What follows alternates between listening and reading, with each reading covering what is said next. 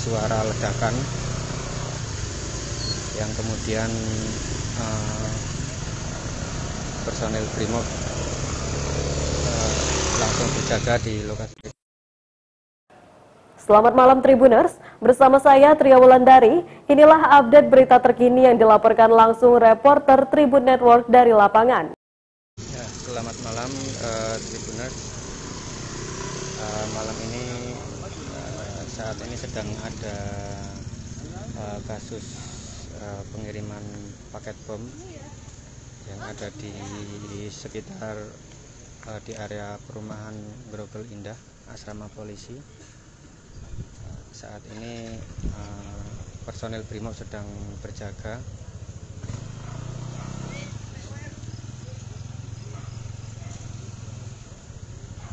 Kejadian uh, dilaporkan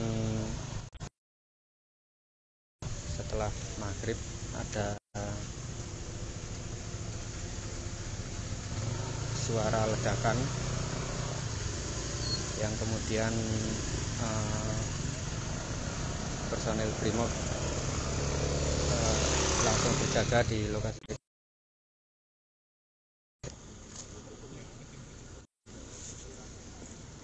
Saat ini sedang uh, dilakukan olah TKP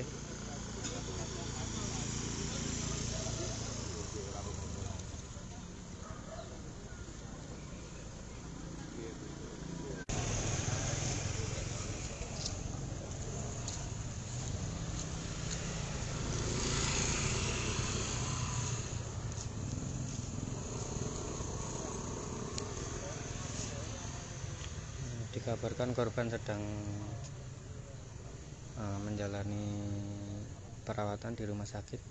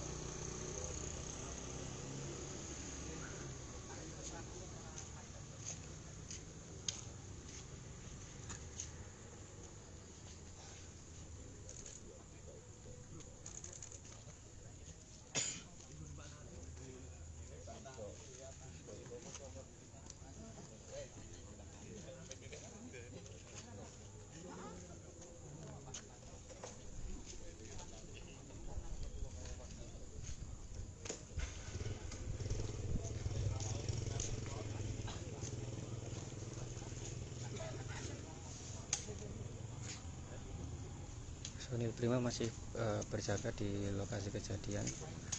Beberapa warga sempat mengira ledakan bom ini uh, seperti suara trafo yang meledak